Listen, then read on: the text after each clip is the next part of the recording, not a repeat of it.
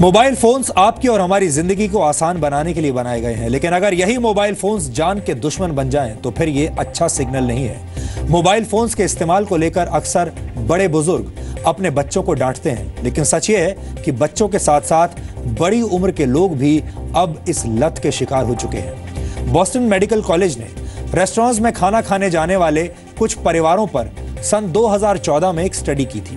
Study में पता चला कि खाने के दौरान परिवारों के एक तिहाई सदस्य लगातार फ़ोन पर ही व्यस्त थे। ये हाल तब था जब बड़ी उम्र के लोग अपने बच्चों को भी साथ लेकर गए थे। और आपने भी अपने आसपास ये ज़रूर देखा होगा, जब आप बाहर जाते होंगे शॉपिंग मॉल्स में, या आप खाना खाने के लिए किसी रेस्टोरेंट में जाते होंगे तो आप भी अक्सर ये देखते होंगे कि आपके आसपास की टेबल्स पर जो परिवार बैठे हैं, उनमें से भी बहुत सारे लोग ऐसे हैं जो अपने परिवार के साथ बातचीत नहीं कर रहे, बल्कि अपने अपने मोबाइल फ़ोन पर व्यस्त हैं। इस दौरान जब भी बच्चों ने बड़ों को टोका तो ज़्यादातर पेरेंट्स नाराज़ हो गए। ऐसा आपके परिवार के साथ भी अक्सर होता होगा। आज से 17 साल पहले अमेरिका की कैलिफ़ोर्निया राज्य में सार्वजनिक जगहों जैसे रेस्टोरेंट्स स्कूल मेट्रो स्टेशन वगैरह पर मोबाइल फोन्स के इस्तेमाल को लेकर एक सर्वे किया गया था। यह बात 17 साल पुरानी है। इस सर्वे में 90 प्रतिशत लोगों ने यह माना था कि सार्वजनिक जगहों पर मोबाइल फोन्स का इस्तेमाल रूड बिहेवियर यानी अशिष्ट व्यवहार है। लेकिन 17 साल बाद सार्वजनिक जगहों पर लगभग सभी लोग अपने मोबाइल फोन्स पर नज़रें गड़ाए बैठे रहते हैं और किसी को भी अब ये अशिष्ट व्यवहार नहीं लगता। दुनिया बदल चुकी है।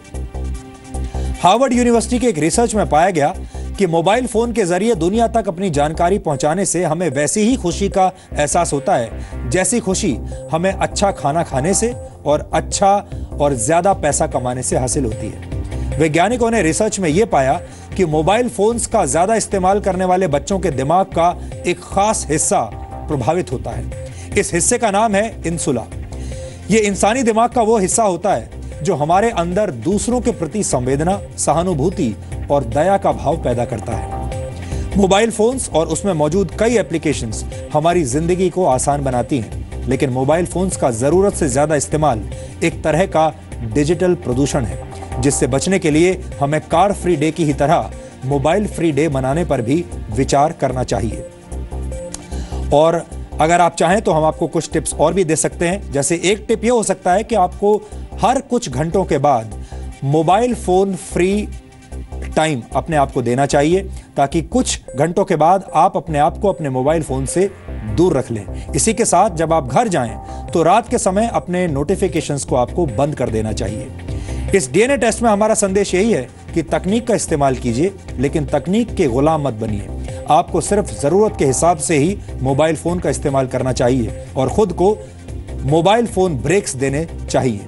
बहुत सारे लोग सुबह उठते ही सबसे पहला काम जो करते हैं, वो यही होता है कि वो सुबह उठते ही सबसे पहले अपना मोबाइल फ़ोन चेक करते हैं और रात में सोने से पहले, आखिरी काम भी यही होता है कि वो सोने से पहले अपना मोबाइल फ़ोन चेक करना चाहते हैं। इसका मतलब यह है कि आपको अपने मोबाइल फ़ोन की लत लग चुकी है।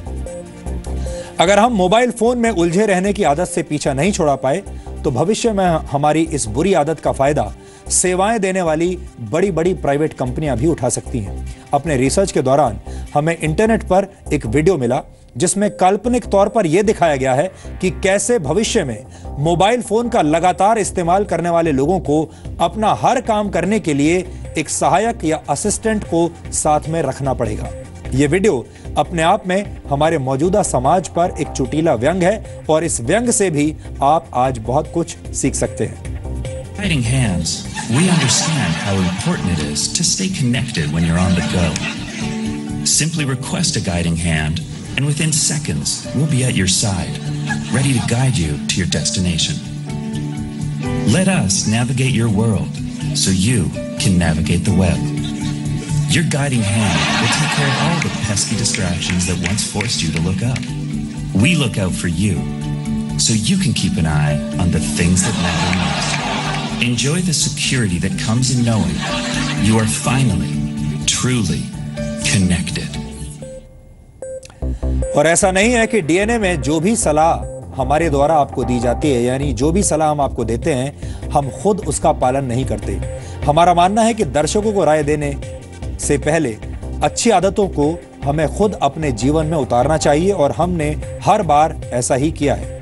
आपको ये जानकर अच्छा लगेगा कि जी न्यूज़ का ऑफ़िस पूरी तरह से मोबाइल फ़ोन फ्री जोन है। यानी हमारे ऑफ़िस में कोई भी कर्मचारी काम के दौरान मोबाइल फोन्स का इस्तेमाल नहीं करता।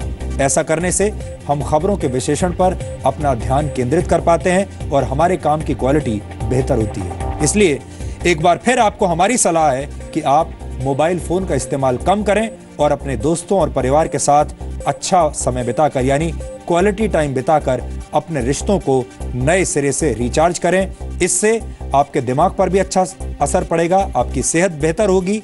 आप ज़्यादा खुश मिजाज मिजाज बन पाएँगे और आपके काम पर भी इसका सकारात्मक असर पड़ेगा।